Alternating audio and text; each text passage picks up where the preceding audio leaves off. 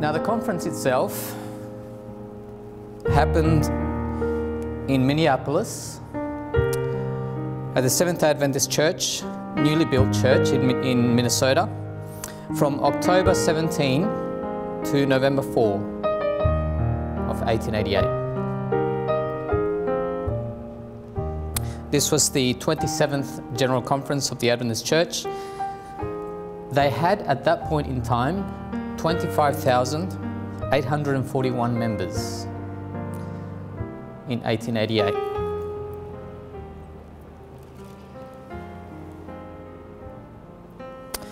Ellen White in September 1889 wrote this We need also much more knowledge.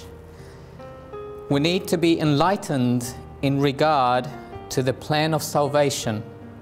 There is not one in 100 who understands for himself the Bible truth on this subject. Which subject? The plan of salvation. And that is so necessary to our, our, our present and eternal welfare. So, this she wrote just under one year after 1888. Now, she says, not one in 100 understood at that time the plan of salvation. Not one in 100. If the membership of the SDA church at that time was, in 1888, was 25,000, let's round it off to 30,000 by this time in September 1889. So, not one in 100 understood the plan of salvation out of 30,000.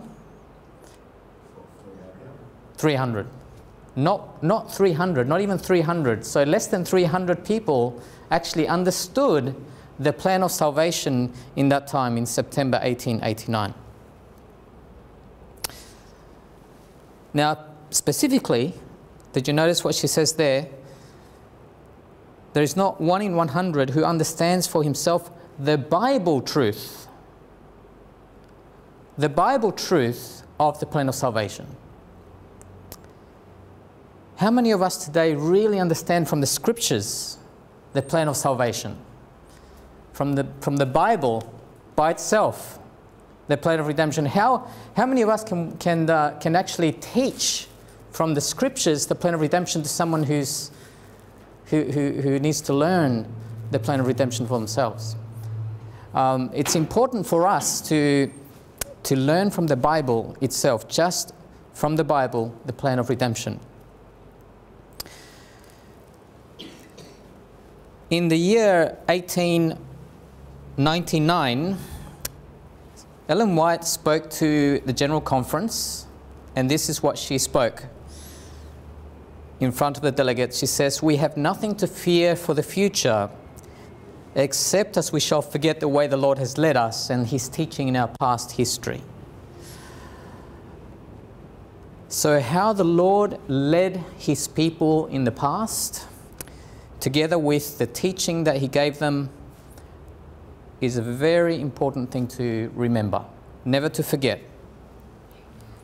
Now, let's look at some of the personalities that, that were involved at the conference. Some, some of the people that were involved, the main ones we're going to look at because uh, there were 91 delegates to the General Conference in 1888, but we're, we're only going to look at about five or six because these were the main characters the main people that were involved and uh, that had an influence on the whole work of the SDA church at that time.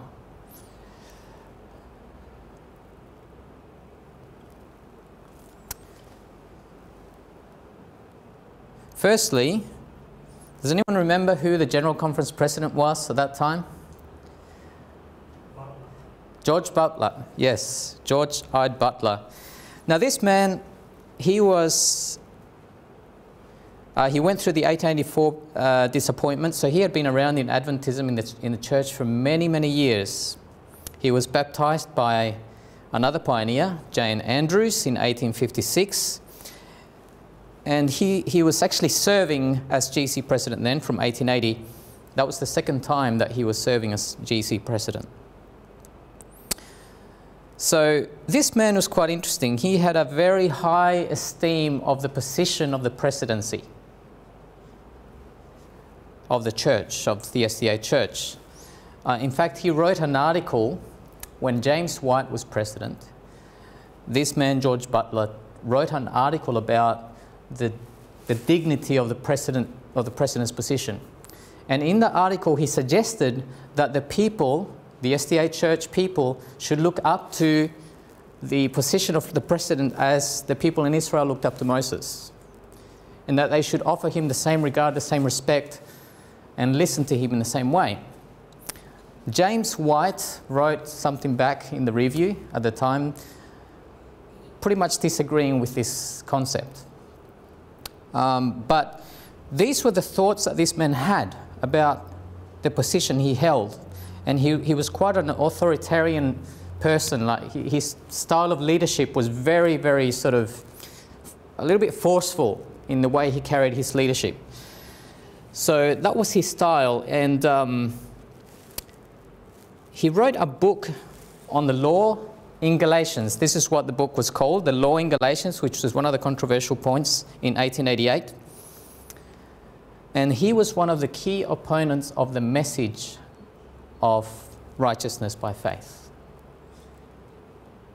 Imagine that, the, the president of the General Conference, one of the key opponents of the message. Now, in 1888, this is what George Butler wrote to the church. We have much reason to thank God and take courage as we enter upon the year 1888. Seventh day Adventists have never taken a stand upon Bible exegesis, which they have been compelled to surrender. But on the contrary, the lapse of time only strengthens their positions.